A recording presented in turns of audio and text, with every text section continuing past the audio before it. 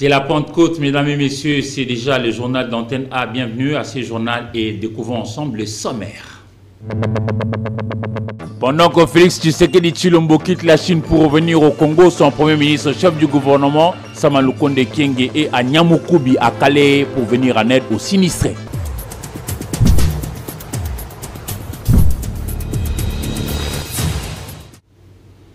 Mesdames et messieurs, bonsoir. Le président Félix-Antoine Tshisekedi Chilombo a visité le siège de Huawei aujourd'hui dimanche 28 mai 2023 dans la ville de Shenzhen en Chine. Bien avant, il faut dire que plusieurs projets liés avec la République démocratique du Congo seront organisés et même réalisés ici sur place à partir de ce qui existe déjà, notamment à Kinshasa, capitale de la République démocratique du Congo. Patrick Borel Moukendi pour la suite. Poursuivant sa visite d'État en Chine, le président Félix Tshisekedi Chilombo est arrivé ce dimanche à Shenzhen. Dans cette ville industrielle, le président de la République s'est rendu au siège de Huawei où il a été accueilli sur place par le docteur Liang Hua, le président du conseil d'administration de Huawei.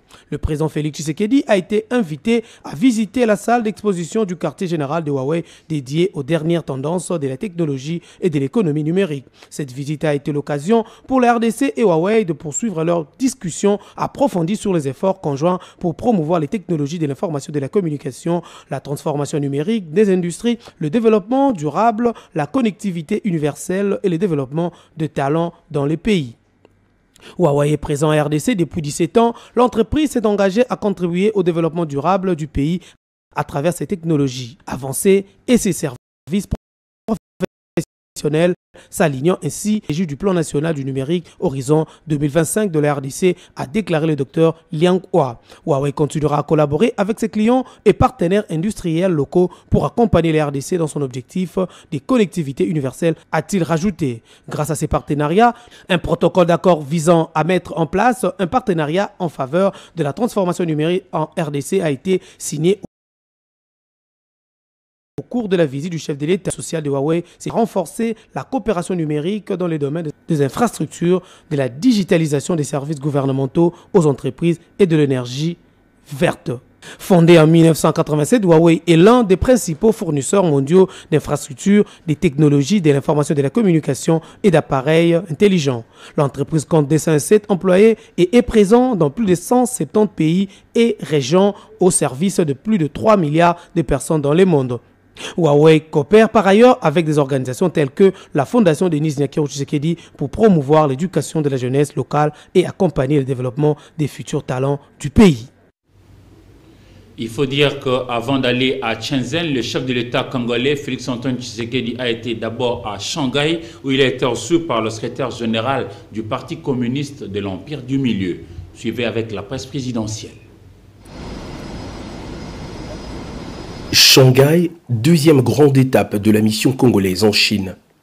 En provenance de Beijing, où il a reçu les honneurs dus à son rang, le couple présidentiel congolais est arrivé dans l'après-midi de samedi, dans la ville économique chinoise. Après les civilités au bas de la passerelle, le cortège présidentiel a pris la direction du grand hall, siège des institutions de la ville. Le président de la République prend même le temps de jeter un regard admiratif rural de la ville qui inspire. Félix Antoine Tshisekedi sera ensuite reçu par le secrétaire du Parti communiste de Shanghai, Shen Jining. L'entretien va durer près d'une heure.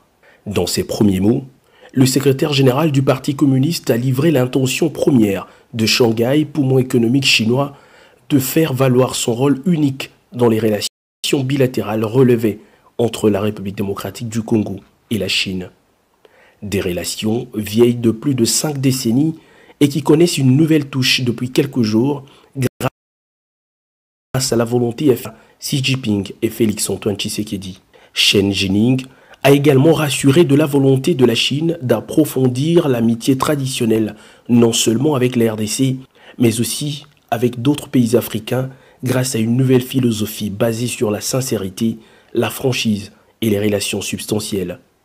Des intentions partagées également par le président Tshisekedi.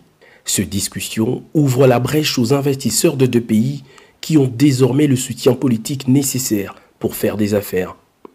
Avant de quitter Shanghai, le président de la République a eu un échange spontané avec les étudiants congolais de la ville venu à sa rencontre. Ce qui devait être une simple salutation s'est très vite transformé en entretien sur fond de leur rapport à la nouvelle ligne de relation entre la Chine et la République démocratique du Congo.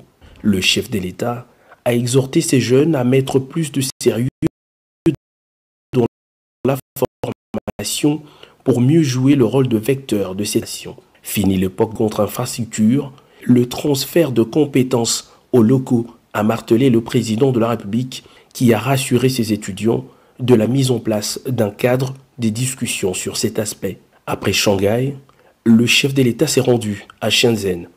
Félix Antoine Tshisekedi veut avoir une vue détaillée de l'espace chinois pour lequel il s'est engagé sous un meilleur angle. Et justement, au pays, le Premier ministre chef du gouvernement, Samalukonde Kenge, est allé à Nyamikubi, l'un des villages du territoire des Kalehe, rasé par les pluies torrentielles survenues entre le 4 et le 5 mai 2023 qui ont endeuillé l'ensemble de la République démocratique du Congo. À sa rencontre avec les populations victimes des inondations, le chef du gouvernement a apporté un soutien multiforme. Suivez ces commentaires de Hervé Landingoy, Patrick Borel-Moukendi. Le Premier ministre congolais Jean-Michel Samaloukonde King est arrivé ce samedi 27 mai 2023 à Bouchouchou et à Nyamukubi, dans les territoires des Calais et au sud Kivu, pour apporter les réconforts et l'assistance nécessaires à la population de ces deux villages victimes d'une catastrophe naturelle survenue le 4 mai dernier. Il est venu au nom du président de la République, Félix Tshisekedi, à la tête d'une forte délégation composée de deuxième vice-président Sénat, de plusieurs membres du gouvernement, créateurs, ainsi bravant pour palper lui-même du doigt cette population sinistrée, espoir et lui apporter assistance au combat, mais aussi trouver problème qu'elle endure. Hier, plusieurs tonnes de livres des médicaments soulager la peine de ses compatriotes sinistrés. Sur place à Bouchouchou, Les chefs du gouvernement le démarrage des travaux de l'ouverture de la route nationale par l'églissement des terres. À Nyamukoubi, le premier procédé à la remise symbolique des assistances sociales constituées d'un lot important de vivres et non-vivres aux sinistrés. Il s'est rappelé que bien avant le Premier ministre, les équipes de ces autres, celles conduites par la sociale, avaient déjà été dépêchées à partir d'une catastrophe naturelle qui s'était déclarée le 4 mai dernier faire état des lieux. Et comme aujourd'hui, chacune d'elles l'aide à la population. une fois de plus, l'importance que le gouvernement au bien-être de la population crée le chef de l'État congolais. Et toujours dans cette partie orientale de la République démocratique du Congo, le Premier ministre chef du gouvernement Samalukonde Kenge a aussi visité Kanyaru Shinya pour clôturer sa mission publique devant ses compatriotes. Konde Kenge action ferme du chef Sekeli Chilombo de rétablir la paix, l'autorité de l'État dans les partis sous occupation de l'ennemi, tout faire pour les déplacer dans leur origine. Hervé Landry L'arrivée du Premier ministre dans ce coaching territoire de Nord Kivu vient de redonner sourire aux personnes internées dans cet espace rempli d'abris. Le chef du gouvernement accompagné de quelques membres de ce gouvernement voit la situation qui est causée par les rebelles rwandais du 23 RDF. Le Premier ministre Samalou Konde Kenge dit être porteur de messages de compassion, chef de l'État ces patriotes congolais qui sont en détresse, rassura ces derniers des efforts déployés par le président de la République pour la stabilité et les retours de ces derniers dans leurs milieux respectifs. Dans sa jubessière, des matelas, des médicaments, des vivres et non-vivres, ainsi que des pagnes, question de compatir déplacés qui sont internés ici et qui sont venus vous accueillir. On les souhaite d'origine pour nous travailler de la paix de tous les déplacés. Prochainement, Je le veux de me voir être reçu chez vous, mais pas ici. Vous tous,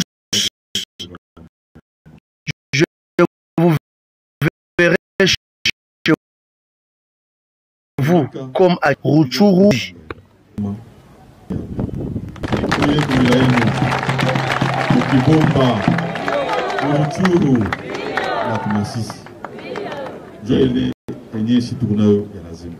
Avant de clôturer sa mission, le Premier ministre s'est dirigé à Calais dans la province de Kivu pour s'imprégner de la situation précaire des victimes de l'inondation de Bouchoufou et Nyamukubi. Le chef du gouvernement a reçu les honneurs de la police et s'est envolé à Kinshasa ce dimanche 28. Vous avez notre correspondant à Goma, chef-lieu de la province du Nord Kivu. Le général-major Konzoli vient de quitter le siège de la BEMIAP, qui est la branche de renseignement au sein de l'armée nationale FRDC, Forces armées de la République démocratique du Congo. il vient, il était interpellé hier samedi 27 mai 2023. Cet officier réputé républicain mais aussi intègre est retourné chez lui ce dimanche 28 mai 2023 en homme libre. Il a été interpellé selon certaines sources dans un conflit obscur qui sévit depuis plusieurs mois déjà. Aujourd'hui, directeur de cabinet du vice-premier ministre, ministre en charge de la défense nationale et ancien combattant Jean-Pierre Bemba Gombo, il a été à tort soupçonné de fomenter un coup d'État, une version selon nos sources monté de toutes pièces pour le salir. Après confrontation, il s'est bien tiré. Le général-major Aimé Biato Konzoli, je l'ai dit, est retourné à la maison chez lui sans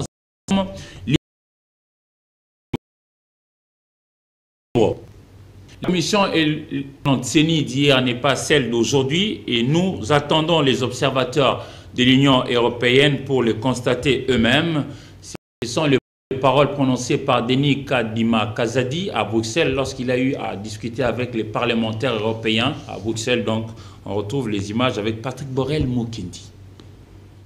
Le président de la Commission électorale nationale indépendante, CENI, Denis Kadima Kazadi, était invité au Parlement européen ségeant à Bruxelles pour un échange des vues sur la situation de la RDC avec en point d'orgue les élections générales qui sont prévues le 20 décembre 2023. Le numéro 1 de la centrale électorale était accompagné de Christian Dongala Nkunku, ambassadeur de la RDC en Belgique et auprès de l'Union européenne. Le Parlement européen suit de près l'évolution de la situation en RDC, notamment dans les domaines de la sécurité, de droits de l'homme, du développement et de l'aide humanitaire. Occasion pour Denis Kadima de faire un état des lieux du processus électoral en cours avec un aperçu sur les étapes traversées et celles à venir. Euh, je commence avec le contexte. La commission électorale a été mise en place avec 28 mois de retard. Ça, c'est parfois quelque chose euh, qui est oublié. Mais malgré cela, la commission euh, tient à organiser des élections de bonne qualité et cela dans le délai constitutionnel, c'est-à-dire avant la fin de 2023. Sur le plan des opérations, le plus grand défi, c'est de tenir le délai. Et c'est ainsi qu'à peine nommé, nous avons mis en place une feuille de route et le 26 novembre 2022, nous avons publié un calendrier électoral. Nous accréditons les observateurs à long terme. C'est quelque chose qui n'existait pas. Aujourd'hui, en RDC, nous avons euh, les, observateurs qui ont commencé leur travail même avant l'enrôlement des électeurs. La députée européenne Pierrette Herzeberg Fofana, vice-présidente de la commission développement représentant l'Allemagne au sein du Parlement européen, a conduit les débats qui a découlé de l'exposé de la plus haute hiérarchie de l'institution chargée de l'organisation des élections en RDC. Avant d'entrer dans les vifs du sujet, Denis Kadima Kazadi a d'entrée de jeu situé le contexte de la mise en place du bureau qu'il dirige, nommé après 28 mois de retard. Pour sa part, Pierrette Herzberger Fofana a réaffirmé les soutiens de l'Union européenne en soulignant que le partenariat avec l'RDC ces dernières années. La confiance n'exclut pas les contrôles, encore faut-il descendre sur le terrain pour vérifier ce qui est fait. Le gouverneur du Kassai oriental, Patrick Mathias Kabea l'a compris. Il l'a fait hier, inspecté samedi 27 mai 2023 les travaux de construction de route ou de la voirie pour mieux dire au niveau de Miabi, financé par la province.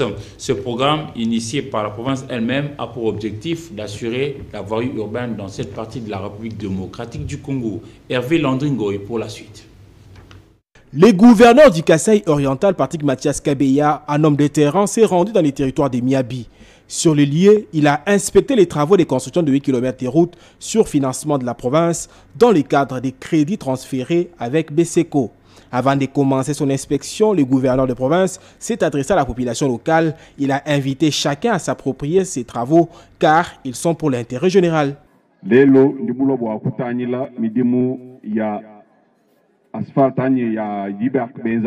Je suis venu inspecter les travaux sur terrain. Après avoir donné l'autorisation, nous sommes là pour voir comment ça évolue. Ces travaux sont exécutés dans le cadre du programme du gouvernement provincial. Ces travaux vont se poursuivre dans d'autres territoires de la province. Après territoire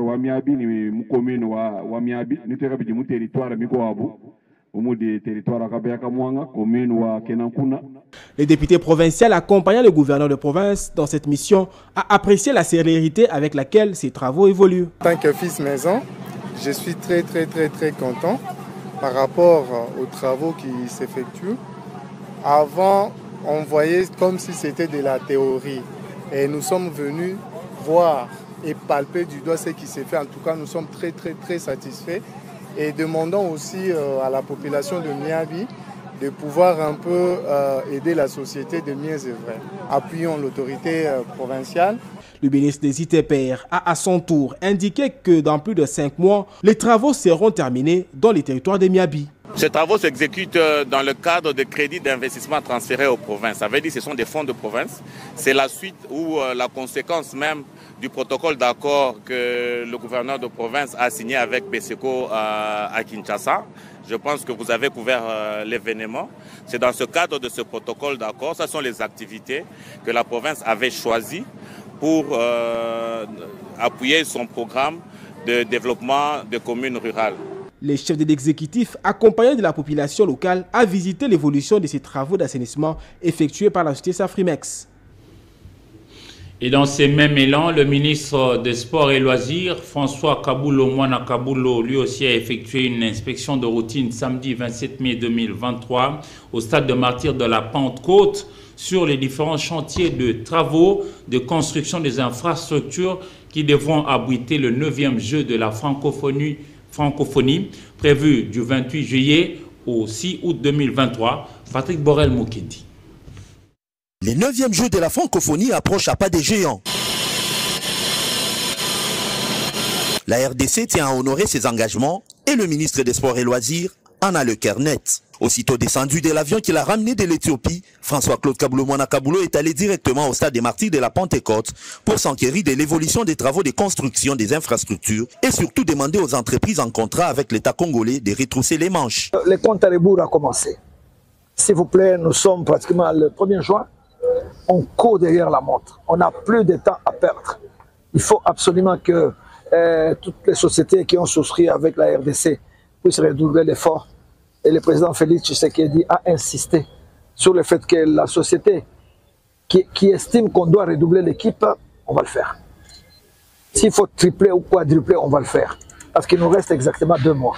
Par ailleurs, le ministre François-Claude Kaboulou-Mwana a insisté sur la nécessité d'assainir les sites où vont se dérouler les 9e Jeux de la francophonie afin de vendre une image positive du pays. Il faut soigner l'environnement. Tous ces visiteurs-là qui vont venir, euh, ils sont nombreux. On doit commencer petit à petit à nettoyer les stades.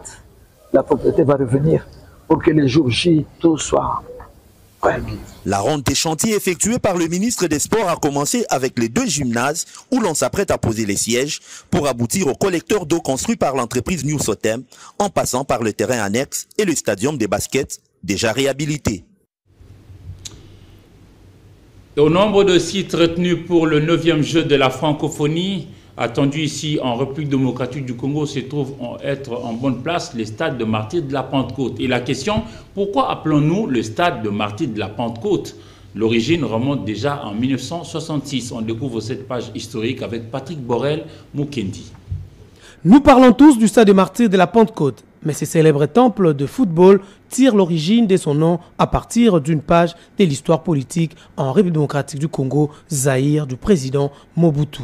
Il s'agit de l'histoire des quatre hommes politiques tués par pendaison après les avoir crévé les yeux, le 1er juin 1966, juste une année après la prise du pouvoir par Joseph Désiré Mobutu à cet endroit. Il s'agit de Jérôme Anani, ministre de la Défense dans les gouvernements Cyril Adoula, Emmanuel Bamba, sénateur et dignitaire de l'église Kimbanguiste, Evariste Kimba, les tout derniers premiers ministres sous Joseph Kassavubu, et Alexandre Mahamba, ministre des Affaires foncières dans le gouvernement de Cyril Adoula. Initialement, Stade Camagnola a été renommé Stade des Martyrs de la Pentecôte en leur honneur. Selon des sources concordantes, la période avait été dominée par plusieurs tentatives de coups d'État.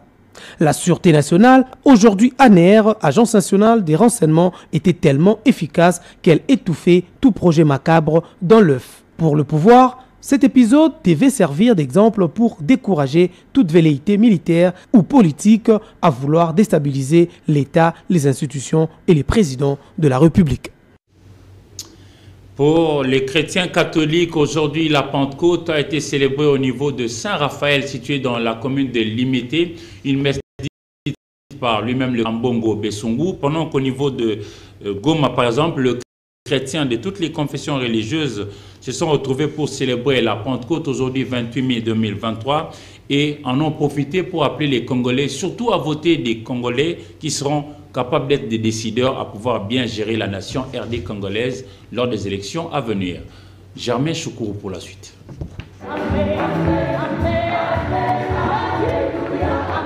La prière, l'action des grâces et la prédication sont les grandes étapes qui ont marqué la fête de Pentecôte célébrée ce dimanche 28 mai 2023. À Goma, les chrétiens ont rendu hommage à cette célébration qui est l'origine de l'église chrétienne et l'évangélisation de la bonne nouvelle de Jésus-Christ par les apôtres. La huitième CEPAC, la source Goma, par cette même occasion, a exhorté tout le peuple à élire les représentants animés de l'Esprit Saint aux élections qui pointent à l'horizon pour le développement et l'émergence du Congo.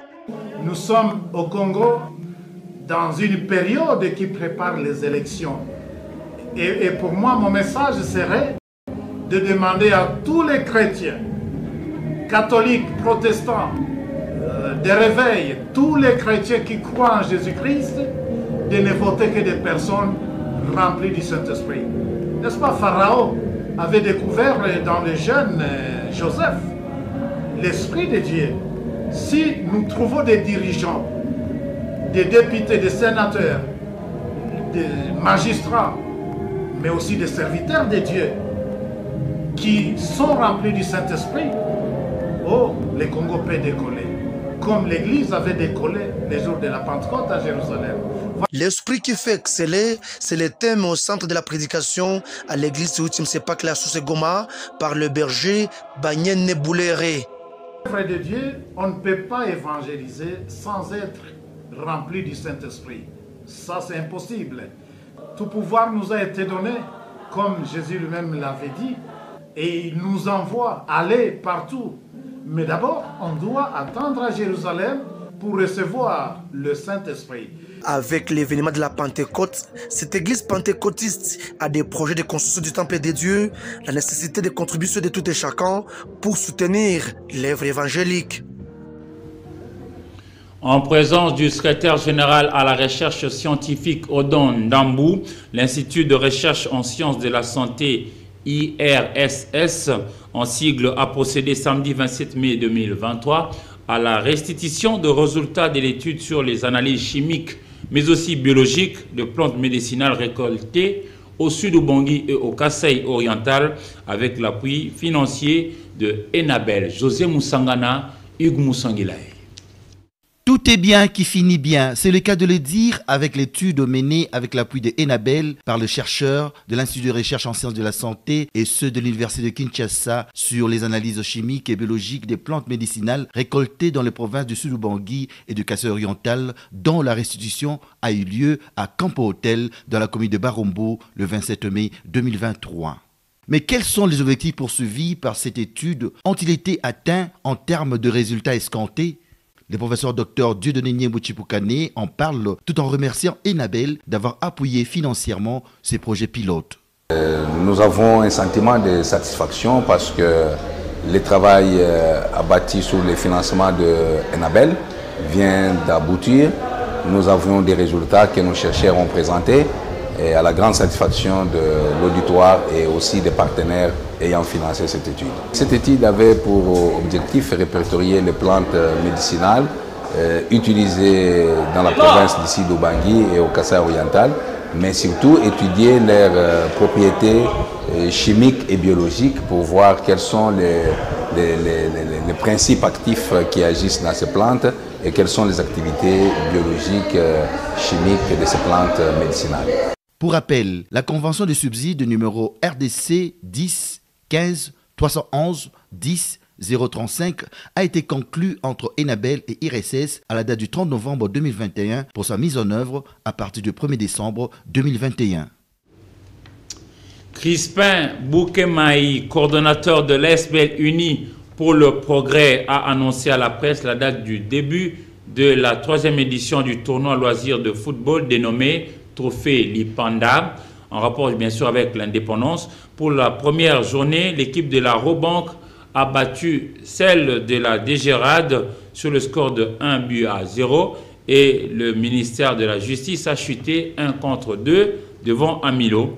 On suit cet extrait de conférence de presse avec Patrick Borel Mokendi et Rigo Moulopo. N'est rien d'autre qu'un tournoi de football loisir qui est euh, organisé par euh, un cadre formel. Je crois que nous allons vous remettre tantôt le, les termes des références qui expliquent dans tous les détails le contenu de ces trophées Lipanda. En fait, nous, nous sommes une, une ASBEL qui évolue comme tout autre ASBEL, mais qui n'est pas à confondre avec euh, euh, les ASBEL à caractère euh, sportif. Non, non. Nous fonctionnons sur base de notre statut qui définit nos objectifs, mais ce qui est un peu de particulier dans notre fonctionnement au sein de notre ASBEL Uni pour le progrès, c'est ces départements des sports et loisirs qui s'occupent de toutes les activités euh, sportives. Donc nous avons l'habitude d'organiser des marches de santé, des matchs euh, amicaux avec, euh, avec d'autres amis. C'est ce qui a conduit en ce jour de ces cadres formels qui permet à cette catégorie de la population dite vétéran ou loisir de pouvoir se retrouver chaque année autour de ces trophées. Donc, tantôt je l'ai dit, il y a un cadre qui définit tout dedans, mais le trophée Lipanda n'est qu'un concept. Pour l'instant, nous évoluons dans le, dans le football, l'organisation du tournoi. Ce journal va se clôturer, mais avant, voici ce qu'a été son principal titre. Pendant que Félix Tshisekedi Chilombo quitte la Chine pour revenir au Congo, son premier ministre chef du gouvernement, Samalukonde Kienge, est à Nyamukubi, à Calais, pour venir en aide aux sinistrés.